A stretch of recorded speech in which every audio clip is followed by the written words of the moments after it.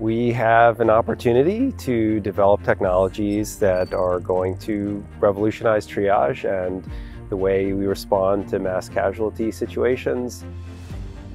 The teams have come together from all different kind of walks of life and different angles to really put together really successful technologies in their own right.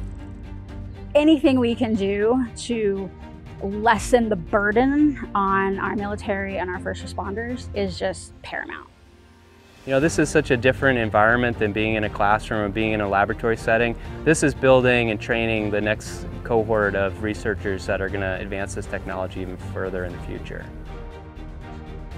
We're putting in hours, we're putting in extra time, and we're always going to push the boundaries a little bit. Our goal as a team is really, it'd be fantastic to win it, but we really feel motivated to field a system that makes a difference. The virtual competition affords us the ability to shift how we simulate a mass casualty incident.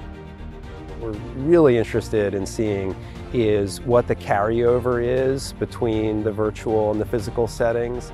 I think there are a lot of opportunities for the kinds of algorithms that we're developing the, under the data challenge to benefit where medical expertise is not available at the amount that is needed in a, in a moment of crisis.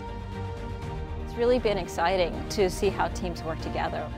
The ability to collaborate, to have conversation with our competitors has been invaluable.